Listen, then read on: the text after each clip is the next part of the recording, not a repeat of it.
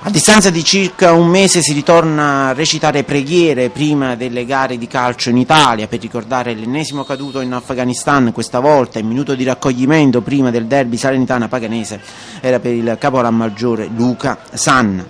Temperature polari in campo e sugli spalti, la curva nord della Paganese eh, presidiava all'esterno quella ospite desolatamente vuota e neanche i due possessori di biglietto e di teste del tifoso giungono a Pagani. Mega spiegamento di forze dell'ordine con tanto di elicottero, ma tutto fila liscio. Salernitana che giunge invece a Pagani, scortata dal solo DS Salerno e dal responsabile dell'ufficio marketing, assente i eh, quadri generali della società. Subito un giallo dal ventre del Torre alla lettura delle formazioni, in, tra i pali c'è il, l'ultimo arrivato Caglioni, neanche in panchina il portiere paganese Giuliano, eh, dato per titolare alla Virgilia. Eh, in tribuna invece per malessere secondo Breda come gli altri ex tricarico e legittimo. La Paganese invece eh, si eh, schiera con subito in attacco l'ultimo arrivato Ferraro, mentre fuori Radi e Triarico per l'inserimento dell'89 di Pasquale. La gara, il decimo subito paganese a farsi viva dalle parti dell'ex portiere della Pro Patria, diagonale di Ferraro, blocca a terra Caglioni. Ventisesimo, la manovra è tutta di marca paganese e in aria c'è un contrasto tra Pippa e Ferraro, dubbio il contatto, l'arbitro Fabbri di Ravenna fa continuare, ancora paganese con Vicidomini in cattedra alla mezz'ora dal limite, la palla però è fuori.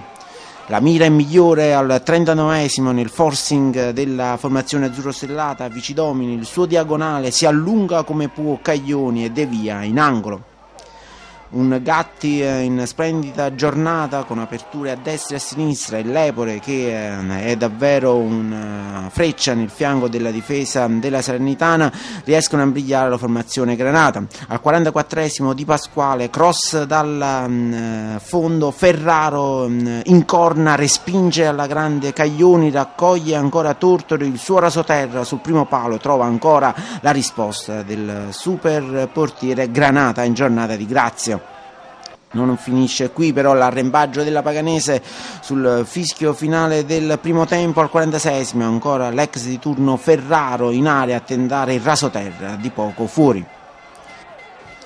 Finale di primo tempo dunque con la Paganese che esce tra gli applausi, una sola squadra in campo ed una piccola, piccola Salernitana. La ripresa si apre sulla stessa lunghezza d'onda, al quinto minuto Paganese vicinissima al gol con l'indemoniato Lepore che eh, tra due avversari si inserisce tocca mm, il pallone a cucchiaio e eh, il palo respinge, raccoglie Di Pasquale ma sulla linea si immola Murolo ed evita la capitolazione. Al ventitreesimo la prima conclusione verso Ginestra porta la firma di Montalto e Tiro e al lato su suggerimento di Ragusa. Una paganese che eh, cala in questa fase centrale della ripresa, ne esce fuori la Sernitana ma senza convinzione. Al 33 ancora un tiro eh, dal limite di Radi, deviazione di Ferraro, blocca Caglioni. Al 41 è Montalto, lanciato a rete in contropiede, viene contrastato in spaccata da Fusco sul pallone, ma l'arbitro, signor Fabri di Ravenna, eh, decide per espulsione rosso da ultimo uomo, eh, proteste a non venire in campo, ne fa le spese anche Capuano, l'ultima occasione è di marca Granata al 42esimo con un tiro di Carlos e attento, blocca a terra Ginestra.